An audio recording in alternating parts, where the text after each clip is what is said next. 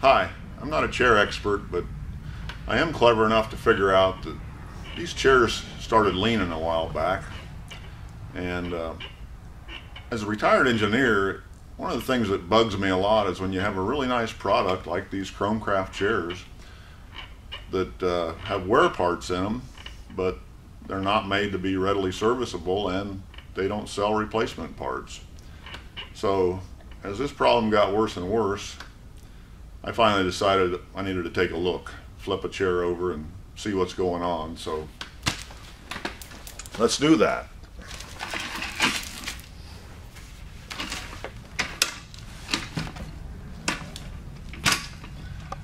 This thing was leaning this direction and you can see there's all kinds of play that way and there shouldn't be. Um, it should pivot like this against the spring but there should be almost no movement in here on this pin.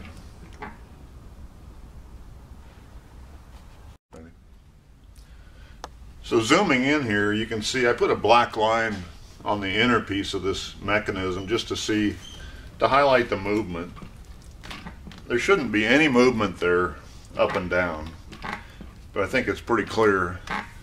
And what that means is this bushing in here is just completely worn out.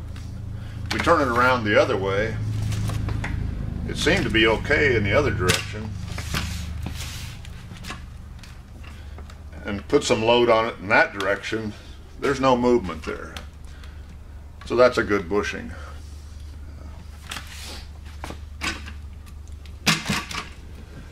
There's another possible cause for this movement in the chair is that there's a center bushing here on this center post. And those are replaceable. Um, the chair people sell them. There's YouTube videos out there on how to replace them. And uh, so if you see movement right in here, that may be what you need. If the movement's down here, what the what the chair people tell you is this must be replaced, this whole mechanism. And for these chairs, that's $55 minimum each. And uh, these have been great chairs for a long time, but as old as they are, I kind of hate to put $55 in each one. So I decided to sacrifice one of them and, and see what I could do. So I think I've up, come up with a really good fix. It's as good or better than new. And uh, it's easy to do. Just about anybody should be able to do it. So I'll show you what I did. Um, one of the ways that they tell you to identify which bushing you need for this is to measure the spacing between the screws that are holding the base to the chair. So these top ones here on these chairs are seven and a quarter. And the bottom ones are six and a half. And the frame part here overall, the sheet metal is eight inches.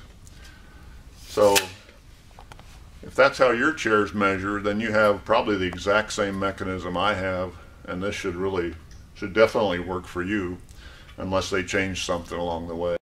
Okay. So this is all I needed to come up with this fix. I think things that just about every do-it-yourselfer has or should have. Maybe if you don't have a Dremel tool, uh, an angle grinder would work, or or maybe you just need one. I didn't have one for many years. My wife bought me one, and I use it all the time. So, very simple set of tools. Uh, I'll talk about the bushing some more in a little bit, but uh, I think it's something that just about anybody could do with simple tools. So, let's get started. So the mechanism just comes off with these four Phillips head screws. Just makes it a little easier to have an impact driver. Again, the base is not symmetrical, so you don't even have to remember which way this goes together. It can only go one way.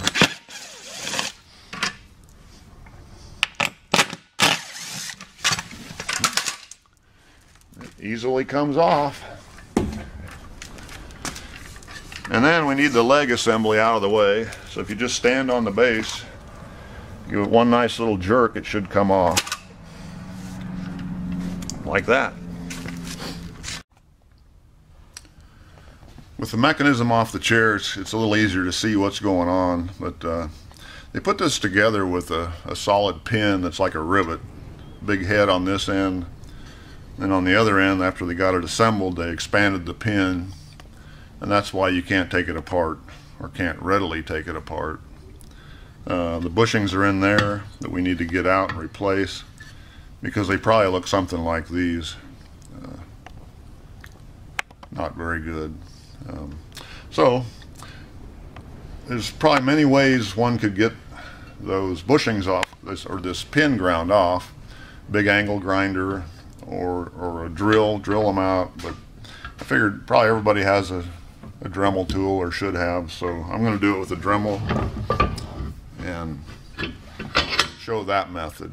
Uh, first thing I did was cover up this post. It's got a lot of old grease on it and it's cold right here now and uh, I'd rather just protect it from all this grinding than have to put clean it up and put some kind of grease that might not be compatible with what's on there and then of course you you got to get that head ground off all the way down to this frame.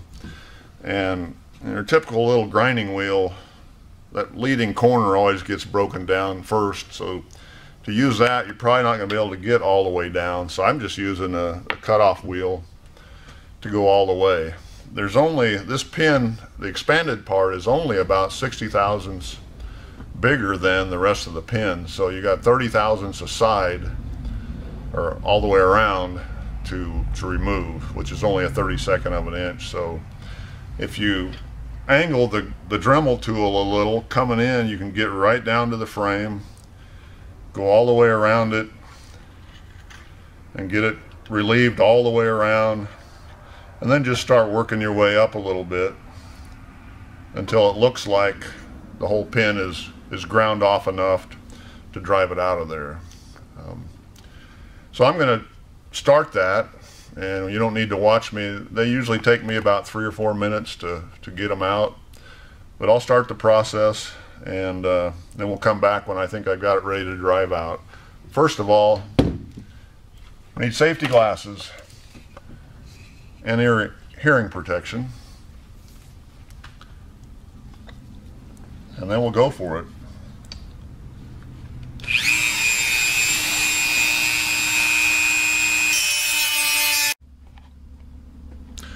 So it looks like I've got it all ground off of there all the way around. It's kind of hard to tell, but uh, easiest way to know is just smack it and see if it'll come out. So I just set it on a, an old socket so the pin's got somewhere to go and just use a straight punch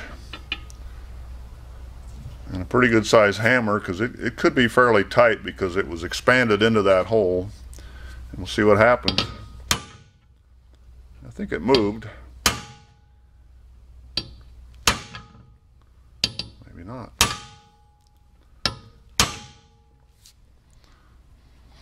Wow, it's moving, but it's still a little tight. There we go. And it's probably going to have to be punched out the other side too. And I don't have that long a punch, but I have a big nail that I ground the end off of that should knock it on through.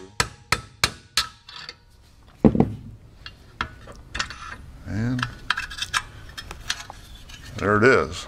So that's the old pin and we're going to throw it away.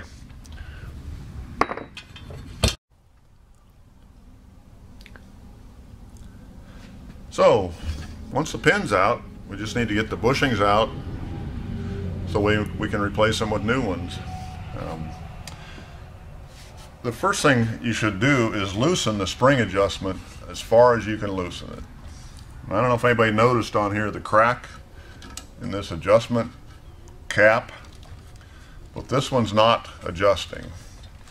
So I had another chair like this too, so I'm going to go through the fix for that later.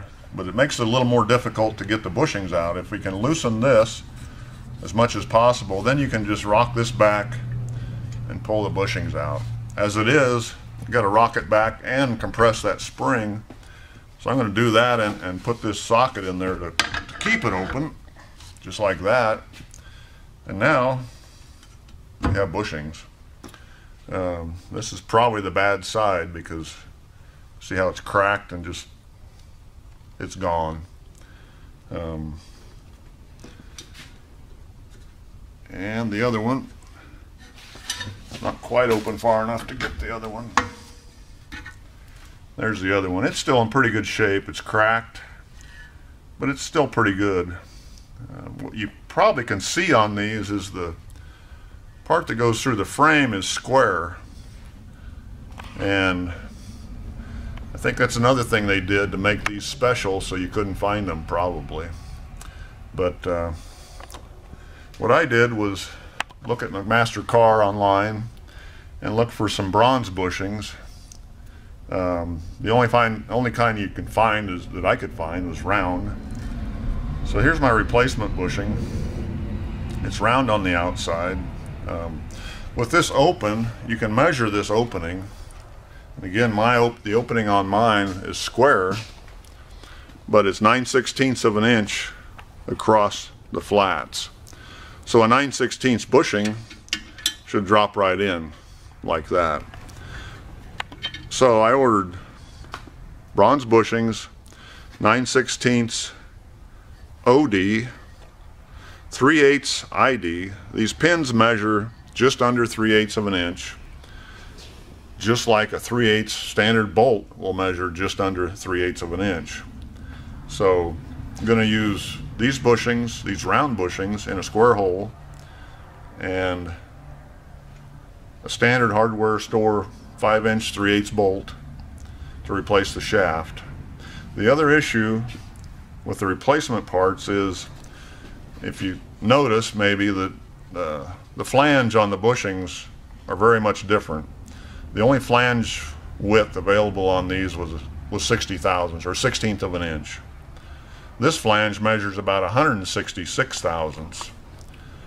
So the simple fix for that is just these washers from Tractor Supply are 99 thousandths thick. So 100 thousandths basically and 62 thousandths. We got 162 thousandths of, of flange thickness now if we use a washer on each side. And that just is to take up some of the slop. It's not critical at all. Um, as I mentioned, to replace the shaft, you just need a 3 8 bolt that has enough solid shaft without threads that both bushings will ride on the solid part of the shaft and not on the threads. And for this chair, that's a 5 inch, standard 5 8 5 inch bolt, 3 8 inch diameter. Um, so I'm going to turn this back up so it's easier to put, put together and show. And then we'll put it together.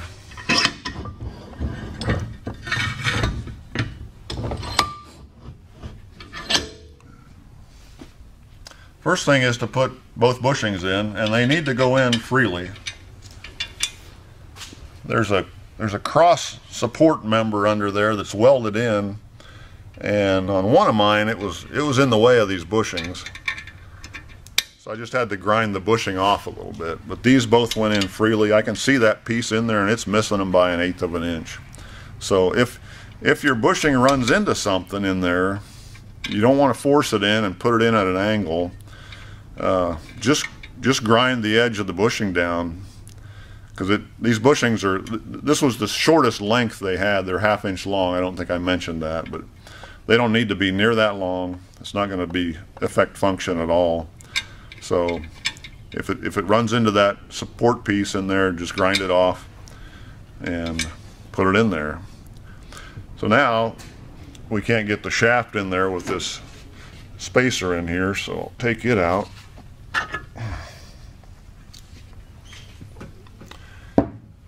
And this, well then, one thing I did is I put a just a dab of any kind of motor oil on the bolt where the bushings are going to be.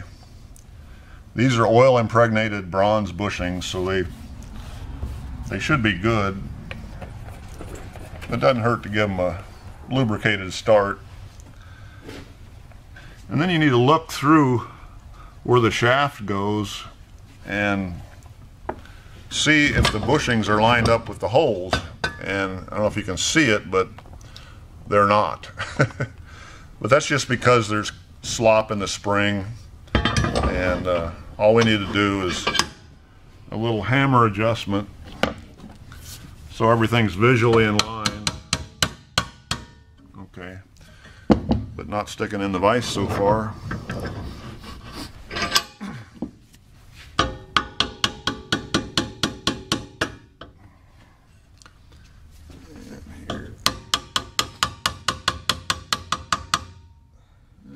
Close. Kind of tilt it a little bit. I think that's close enough. So, with some oil on the shaft, the first thing we're going to go through when we get through this piece of frame is the first washer. So this is a little bit tricky, but if you're a little bit handy, you know, put some pressure on it as it's going in, and then when you find the hole, it should go in, and then get it on through the bushing. Now it's going to the other side. So it needs to go through the other bushing first and then through the second washer. The tricky part again.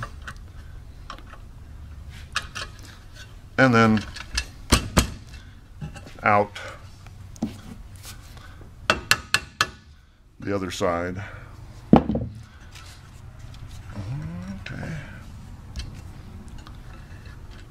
Got something bound up just a little bit. But I think I might have to tap it a little. Not going to hurt anything to tap it. Help it in. That that big spring in here puts things some odd loads on things. So now bushings, the new bushings are in with their spacers. You can see right here, some of the unthreaded bolt is sticking out. So we can't put nuts on there and get it tightened up without some washers. So I think two washers is what's worked on all the other chairs. And then put a nut on there and tighten it up a little bit.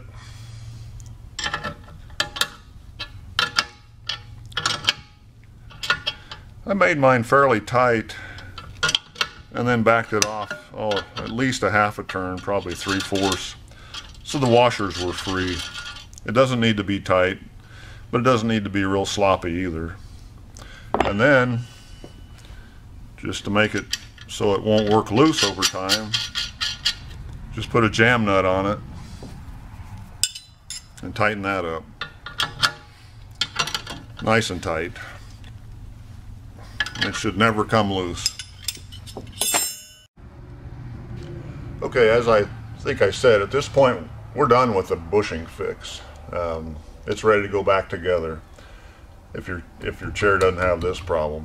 But I just wanted to review briefly in case I didn't mention everything about what I used. This is a 3 8 bolt from the hardware store, five inches long for this for this application. Uh, the bushings, 3 8 ID, 9 16 OD, half inch long, 16th inch flange from McMastercar.com. Uh, they have everything. I'll put the part number of the bushing, the McMaster Carr part number, in the description of the video. So if you want to get some, you can get them right there. Uh, the only thing else was a couple of nuts for these and a couple of farm store washers. Nothing critical. And uh, that part's done. Uh, don't know if I mentioned the cost. These were $1.46 a piece. So for maybe five bucks a chair, we got like new like new chairs. But on this chair, I need to fix this. So what they have here is they, they've molded a, a nine, basically a 916 or a 3 8 hex nut into this plastic cap. And, and then they threaded it on there and then they pinched the end of the bolt so you can't get it off. And it's just basically a carriage bolt coming through here. And this is what I'm going to use to replace it. 3 eighths four inch long carriage bolt. Uh, so the first step is to get that plastic off of there and however you choose to do it. This one was cracked so bad it came off easily. And then there's any number of ways. We just need to get that bolt out of there. Um, looking through here, I can see where you could come in here with a sawzall or reciprocating saw and just cut the bolt in half. It would probably be the easiest solution. Um, what I did and what I'll show is if you can see where the threads are smashed and so I'm gonna loosen this thing and it's a 9 16 it's a 9 16 hex like the standard ones but I can't get my wrench in between. It's got a washer built into it. So I'm going to loosen it out to where I want to cut it off. So I have a guideline. I can use that washer as a to help me cut in the right place. Now this this one was really adjusted tight. Maybe that's why it failed. Okay, so that's if we cut the end of that bolt off and I'm just going to run around run around it with the Dremel until I get it mostly cut through and then probably just break it off with pliers. And then we'll be able to take this nut off and it's simply a matter of replacing that carriage bolt with a new one. We won't have a plastic handle but uh, you'll have to adjust the spring with a wrench. I've never adjusted one of these springs in 20 years so I don't that's not a big deal to me so I'm going to get my uh, ears back on and my safety glasses and start cutting.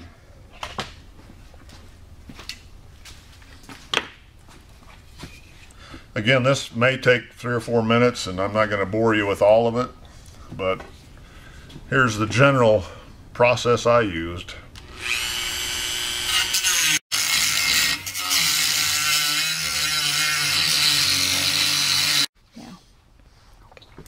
Okay, I think I've got it cut all the way, almost all the way through, or far enough I can just break it off with my little vice grips. And yep, there it went. So we don't need that part anymore. Uh, then next, we just got to turn the nut off. It might be a little tight because of those messed up threads now, but it's not as messed up as it was when they did it. So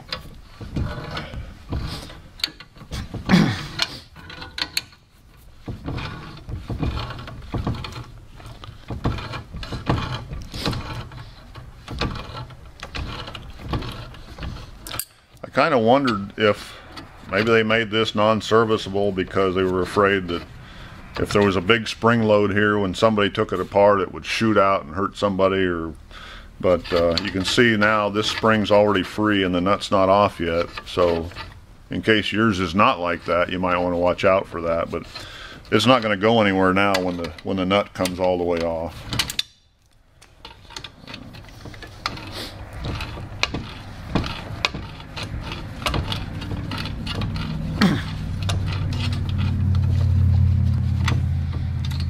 Okay. Throw away that nut. We got to keep the washer, keep the spring. And so there's their carriage bolt. It's 3 8 square up here, just like a 3 8 carriage bolt, but it's a little undersized here and it's a really fine thread, so it's special. They made it special, probably to have a finer adjustment, but uh, we don't need that. The fix is very simple. I think I'm going to just get rid of a little of the, the here.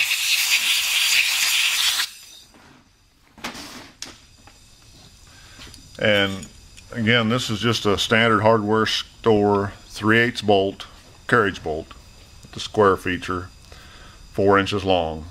It's a little long, but it's what works. It just goes in to replace the old one, then the spring, then the washer,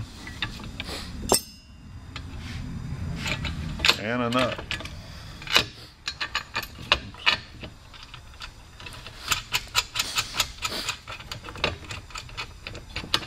kind of get everything settled in where it belongs there.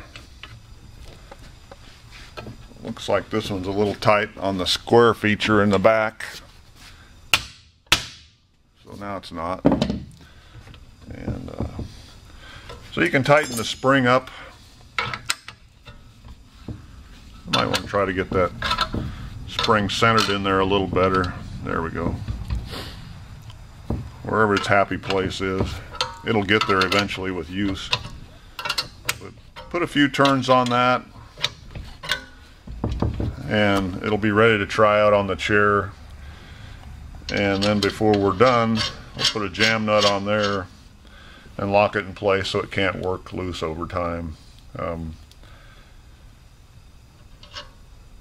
now again, the, the, the, adjustment of the spring in the future now is going to have to be done with two 9 16 inch wrenches, but like I said, I never adjusted mine since I owned them, but it's still possible. It's just a little more difficult.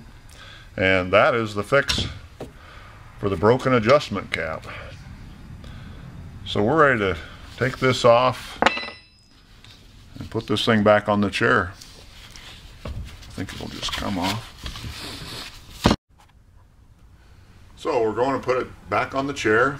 It's real simple. Since the base is not symmetrical, it can only go one way. Start all the screws.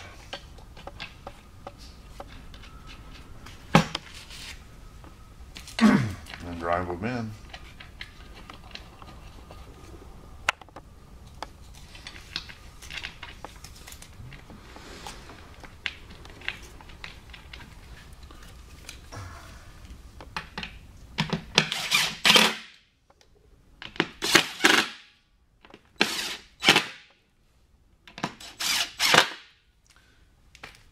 like to finish them with a hand screwdriver so I know how tight they are. I think they're tight.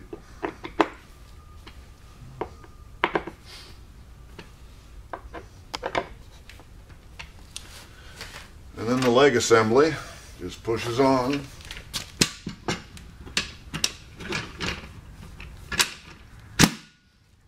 And we're ready to try it out.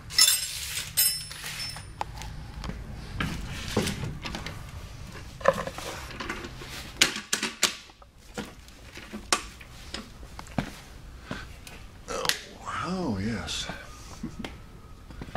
no noise. Sitting level. I think the spring is just about right for me, so I'm going to leave it there. So now we just need to tighten the jam nut on the spring and we're almost done. You could do that without tipping it over, but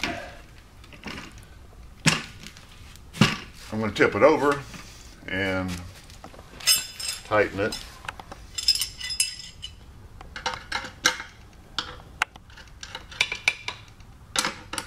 3 8 bolt, so that can be pretty tight.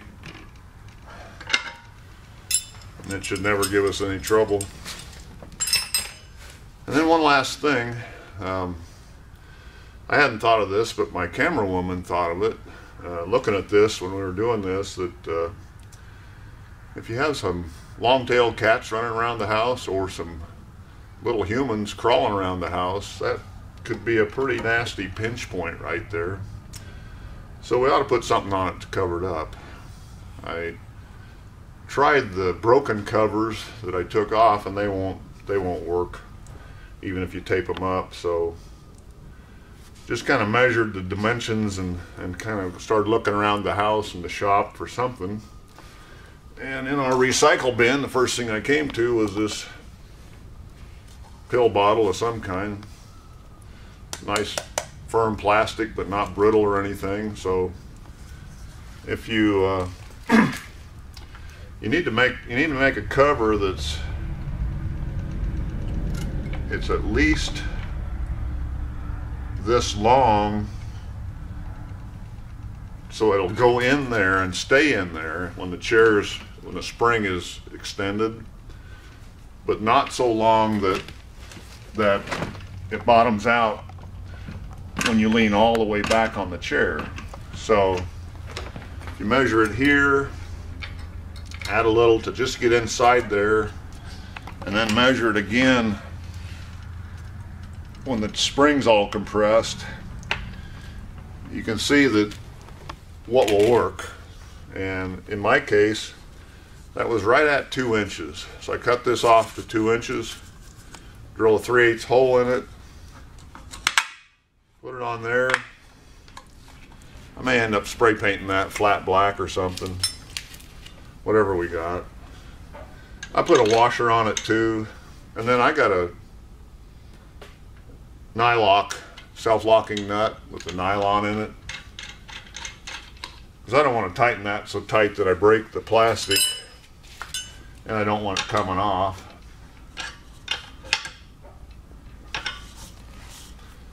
now we have a cover no pinch point and it doesn't bottom out so it won't break from the action of the chair so you can probably use just about anything that'll fit in there. It's two and a half inch hole. The spring is an inch and five eighths diameter. So it's got to be in between those sizes. Cut it to the right length. I'm pretty sure a Coors Light can would just be perfect, but I only know that because my Miller Lite cans were too big and Coors Lights are a little bit smaller. So anyway, now it is complete. Turn it over one last time.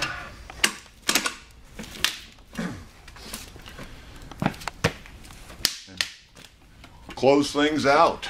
Um, I think in the in doing this, I forgot to say one thing about putting round bushings in a square hole, so I want to just talk a little bit about that so you know what to expect. Uh, when you do that, you're essentially putting point loads on that bushing in these two places. Real high contact stresses. And that's why I went with a metallic bushing instead of plastic. And what's going to happen is when you load it, since there's almost no area supporting it, it'll deform or crush. So now it has a little flat on each side of the bushing that's enough area to now support all the load and then it'll stop. So mine have started to do that I've had them in use for about two of them for about three weeks.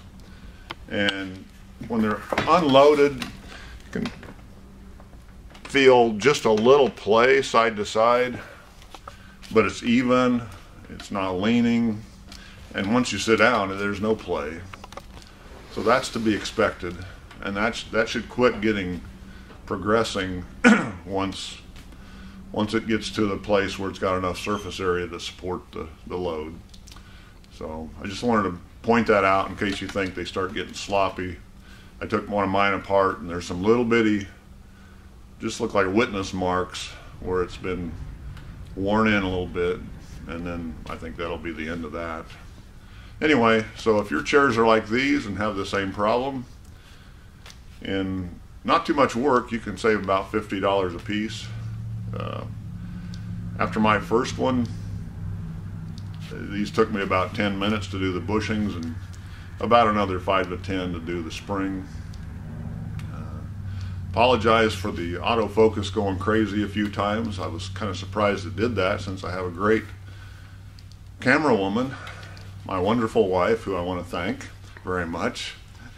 And uh, this is my first YouTube video and probably my last, but when I started looking into this problem, I couldn't believe there wasn't a YouTube video to help me with it. And so now there is. It's this one. And uh, I just felt an obligation to, to share it since I've learned so much from YouTube videos on fixing things that I wanted to share it. So good luck with your chairs. I hope this helped.